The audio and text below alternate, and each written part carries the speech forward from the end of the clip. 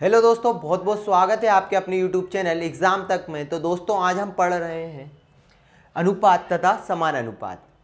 तो दोस्तों, आज मैं आपको बता दूँ कि अनुपात और समान अनुपात का जो टॉपिक आज आपका होने वाला है, बहुत ही इंटरेस्टिंग होने वाला है। इसमें हम आपके बेसिक कॉन्सेप्ट क्लियर करवाएँगे। ऐसे कॉन्सेप्ट जो आप लोग क्या करते हैं, इसको छोड़ दिया करते हैं। ताकि हमें ये आते हैं। लेकिन दोस्तों, मैं आपको बताऊँ कि क्वेश्चन आपकी इन्हीं से, इन्हीं कॉन्सेप्ट से ही गलत होते हैं। और ये इसी टॉपिक के लिए नहीं, सभी टॉपिक के लिए ये चैप्टर इम्पोर्टेंट है। तो दोस्तों, चलो शुरू करते हैं। देखिए, पहली बात मैं आपको बता दूँ कि अनुपात तथा समान अनुपात। अनुपात की बात करेंगे तो दोस्तों, अनुपात जो है, समान समान वैल्यू ठीक है? समान राशियों के बीच में निकाला जाता है। ठीक है? समान राशियों के बीच में निकाला जाता है। देखिएगा, जैसे इस साइन को क्या कहेंगे हम? अनुपात कहेंगे।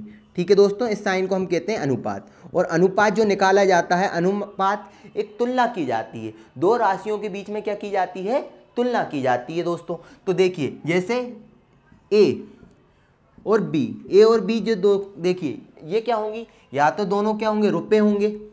ठीक है? या फिर दोनों क्या होंगी? लंबाई होंगी। ठीक है? या फिर क्या होंगे? चौड़ाई होगी। ठीक है तो आप समझ गए होंगे कि भैया, ये दोनों क्या है? समान होनी चाहिए। मतलब समान इनके क्या होनी चाहिए? यूनिट। ठीक है? इनकी यूनिट कैसी होनी चाहिए? समान होनी चाहिए। मतलब और समान यूनिट में तो तुलना होती है। जो चीज़ें समान होंगी, उन्हीं में तो तुलना होगी। अब देखिए, अब समान अनुपात क्या होता है? समान अनुपात को आप समझिए। समान अनुपात उसे कहेंगे, देखिए, सम धन अनुपात। मतलब अनुपात क्या होंगे? जहाँ पर अनुपात बराबर हो। ठीक है? देखिए, ऐसा मैं बताता हूँ आपको। पहली बात तो अब ये आप देखिए कि ये साइन को क्या कहेंगे? सम मानुपात। ठीक है? इस साइन को क्या कहेंगे आप? समानुपात। ठीक है? अब ये अनुपात और ये अनुपात क्या आपस में बराबर है, इसलिए अपन कहेंगे इसे समानुपात। इसको इस प्रकार से भी लिख सकते हैं। ठीक है? या इसको इस प्रकार से भी लिख सकते हैं हम ठीक है? तो चलते हैं अब अपन क्वेश्चन की ओर। पहले अपन क्वेश्चन समझेंगे और क्योंकि अपन को ये सब चीज़ें समझ में आई गई हैं तो इससे रिलेटेड एक क्वेश्चन कर लेते हैं ताकि आपके क्वेश्चन ही तो आना है। तो इन क्वेश्चन एक क्वेश्चन पढ़ लेते हैं। तो दोस्तों, पहला पहला क्वेश्चन आप लोगों के सामने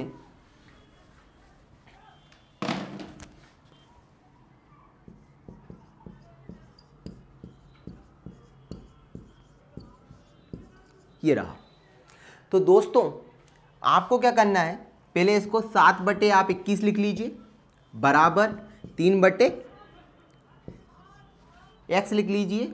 इससे सात को सात से इसको काट दीजिए तो सात एकम सात और सात त्री इक्कीस। इसका गुणा कर दीजिए इस तीन में।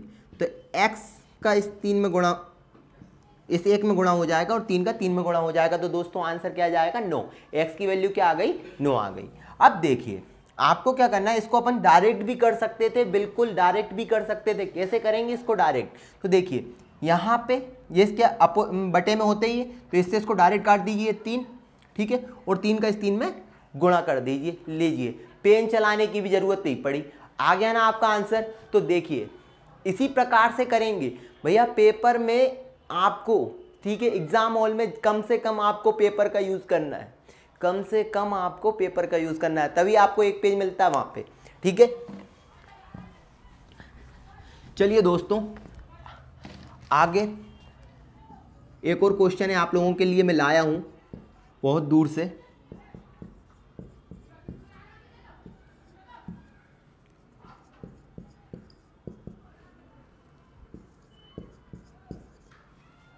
तो दोस्तों, ये क्वेश्चन देखिए, ये वाला जो क्वेश्चन है, ये ये वाले जो क्वेश्चन है दोस्तों तो इस क्वेश्चन में एक चेन रूल्स अनुपात में चेन रूल्स लगता है। कैसे लगता है भैया? एक ब्रिज बनता है, इसका इससे रिलेशन होना चाहिए। यहाँ पे ए अनुपात बी ठीक है? और आगे क्या होता है कि जैसे देखिए, इसको तो ये इसमें भी आता है और इसमें भी। दोनों में क्या होता है? कॉमन होता है। अब देखिए, यहाँ पर ये जो बी आ रहा है, कहाँ पे आ रहा है? कहाँ पे आ रहा है इसका? और इसका अपन को निकालना ये है सॉरी मैं आपको बता दूँ कि ये निकालना अपन को। तो यहाँ पे ये बी बी क्या आ रहा है? बीच में आ रहा है। तो अपन को भैया ये तो बीच सर पे आ गया। अब इसको कैसे करेंगे? इसको पहले जमा लीजिए। इस वाली वैल्यू को आप जमा लीजिए भैया। तो ऐसा करेंगे। बी अनुपात सी अर्थात नौ अनुपात ठीक है? हो गया। कोई दिक्कत नहीं होनी चाहिए। अब देखें, इसको, सवाल को सॉल्व कैसे करेंगे? तो मैं आपको वो बता दूँ कि जैसे बी सी ए की वैल्यू कितनी है? तीन अनुपात चार। और बी सी की वैल्यू कितनी है? नौ अनुपात आठ। अब दोस्तों देखिए, यहाँ पे चार को आगे भी लिख लीजिए इसी क्रम में और नौ को भी इस नौ के आगे लिख लीजिए।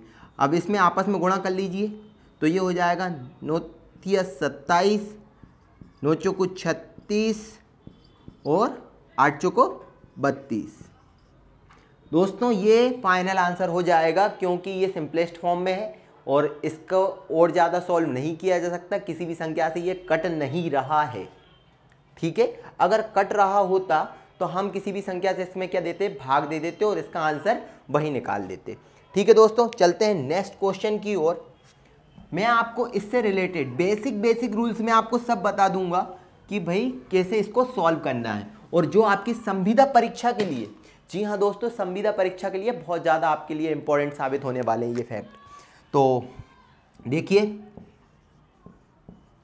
वन अपॉन एक्स अनुपात one upon Y one upon Z अब यहाँ पे मैं आपको बहुत अच्छी चीज़ बताने वाला हूँ। समझिएगा, ध्यान से समझिएगा आप, बिल्कुल। ठीक है? और वीडियो को लाइक करते हुए चलें, देखें। अब यहाँ पे देखिए, पिछले वाले क्वेश्चन में क्या पढ़ा था कि, और यहाँ पे आपको निकालना क्या है? ए की वैल्यू निकालना एक्स, वाई, जेड की वैल्यू निकालना अब देखिए, इसको सॉल्व कैसे किया जा सकता है? दोस्तों, ऑप्शन में ये भी होगा, लेकिन आपको ये नहीं है, इसका राइट आंसर नहीं है ये। ठीक है, आपको क्या करना है? इसको ऊपर पहुँचा दीजिए आप। एक्स वाई जेड को आप ऊपर ले जाइए। जब इसको ऊपर ले जाएँगे तो ये क्या जाएँगे? एक के बटे में जाएँगे। ठीक है? उल्टा कर दिया अपन ने, इनको ऊपर ले गए तो ये सारी जो वैल्यू क्या आ जाएँगी इसके? नीचे आ जाएँगी। समझिएगा आप ध्यान से। ये वैल्यू को ऊपर ले गए, ये वैल्यू नीचे आ गई। ठीक है? अब देखिए, इसमें आपको छुपाने वाला ठीक है, एक बहुत अच्छा मेथड बता रहा हूँ मैं आपको, समझिएगा। बहुत ही अच्छा मेथड है। देखिए, दो को छुपाया, इन दोनों का इंटू करके इस पर लिख दीजिए। दोनों का कितना हो जाएगा? पंद्रह। पाँच और तीन का इंटू हो गया, इन दोनों का इंटू हो गया कितना? पंद्रह। ऊपर लिख दीजिए। अब देखिए, अब क्या करेंगे? तीन को छुपाया, दिख क्या रहा है? दो और पाँच। तीन को छुपाया, कितना दिख रहा है? पाँच दूनी दस। वेरी गुड ठीक है? अब क्या करेंगे? देखिए पाँच को छुपाया कितना दिख रहा है? तीन और दो। तीन और दो का गुणा करके कितना लिख देंगे दोस्तों? छह। ये वैल्यू कट रही है क्या? अगर किसी भी संख्या से कट रही होगी तो हम उसको काटेंगे। अन्यथा देखिए अन्यथा वही हमारा क्या होगा? फाइनल आंसर हो जाएगा। तो दोस्तों किसी भी ये संग, किसी भी संख्या से नहीं कट रही तो ये हमारा क्या हो जाएगा? फाइनल आंसर तो चलते हैं नेक्स्ट क्वेश्चन की ओर। दोस्तों, मैं आपको अगला क्वेश्चन बहुत ही प्यारा है, ठीक है? बहुत ही इजी है और देखें।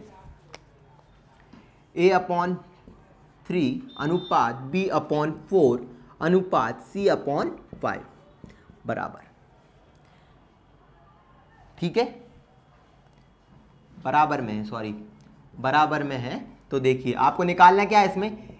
ए अनुपात बी अनुपात सी अनुपात का वैल्यू निकालना है। अब मैं आपको एक बात और बता दूँ, इस क्वेश्चन को करवाने के पीछे मेरा उद्देश्य ये, अगर बटे में कोई संख्या लिखी हो और आपसे पूछा क्या हो, अनुपात पूछा हो तो वही उसकी आंसर होगा। दोस्तों ए अनुपात ए का आंसर ए अनुपात बी अनुपात, इधर पे कितना हो जाएगा? थ्री अनुपात, चार चार अनुपात पाँच, ये इसका आंसर दोस्तों, एक सेकंड भी नहीं लगा इस क्वेश्चन को सॉल्व करने में। मैं आपको बता दूँ, देखिए, ये तीन किसी भी संख्या में ए के बटे में कितना लिखा हुआ है? तीन। यही इसका आंसर होगा। बी के बटे में क्या लिखा हुआ है? चार। तो यही इसका आंसर होगा। सी के बटे में क्या लिखा हुआ है? पाँच। तो ये इसका आंसर, ठीक है? आपको वैल्यू निकालने के लिए, देखिए, इसका मैं आपको बेसिक भी बता देता हूँ। सर, आपने ये तो कर लिया, आप इसको ये तो बता दीजिए भैया। तो मैं बता देता हूँ कैसे निकलेगा। तो के माना, ठीक है? आपने के मान लिया। अब देखें ए की वैल्यू कितनी निकलेगी? थ्री के ठीक है? आ गई बात समझ में? अब उसके बाद बी की वैल्यू कितनी निकलेगी? फोर के और सी की वैल्यू कितनी निकलेगी?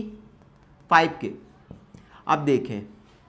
इनको अनुपात में सेट कर दीजिए। तो थ्री तीन के अनुपात, चार के अनुपात, पाँच के अनुपात। कैसे सारे के कैंसिल क्योंकि अपन फॉर्म किस फॉर्म में देते हैं? सिंपलेस्ट फॉर्म में आंसर देते कि नहीं देते? अनुपात में आपको कौन से फॉर्म में आंसर देना है? सिंपलेस्ट फॉर्म में। तो ठीक है? आ गई बात समझ में? चलते हैं नेक्स्ट क्वेश्चन की ओर, जो कि बहुत ही इजी क्वेश्चन है, ठीक है? इजी क्वेश्चन है। तो एक्स वाई बराबर दो अनुपात एक X Y plus Y square तो दोस्तों ये वाले देखिए। अब यहाँ पे जैसे दो दो क्या दिया हुआ है? आपको मैंने स्टार्टिंग में क्या बताया था दोस्तों? थोड़ा सा याद करिए। थोड़ा सा याद अगर नहीं आ रहा हो तो वीडियो को पीछे ले जाकर और फिर से ज़रा देखिए। जब बिल्कुल स्टार्टिंग में बताया था कि मैंने ये बताया था कि भैया जो इसकी वैल्यू रहेगी वही इसकी वैल्यू रहेगी। एक्स बराबर यहाँ पे क्या निकले आया? दो निकले आया। और वाई बराबर कितना निकले आया? एक। तो ए, अब यहाँ पे आपको डायरेक्ट वैल्यू पुट करना है। पुट कर दीजिए भैया। दो एक कम, दो। ठीक है? प्लस एक। क्योंकि इसमें एक का स्क्वायर करोगे तो एक ही होगा। अब यहाँ पे दो दूनी, दो का वर्ग और एक का वर्ग। यहाँ पर कितना हो जाएगा?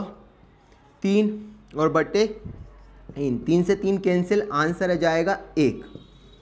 ठीक है? यह आपका आंसर आ चुका है। देखिए, आपको फिर से समझा देता हूँ मैं, यहाँ पर ए एक्स अनुपात वाई लिखा हुआ है, बराबर दो अनुपात एक है। तो और आपसे पूछा क्या गया? इसकी आपको निकालना है, ठीक है? इसकी वैल्यू निकालना है। तो इसकी वैल्यू आप कैसे निकालेंगे? एक्स वाई की वैल्यू, जैसे एक्स की वैल्यू क्या होगी? जो उसके सामने लिखी है, वही होगी। और वाई की वैल्यू क्या होगी? जैसे एक होगी। अब आपको इनकी जगह इनकी वैल्यू पुट कर दीजिए।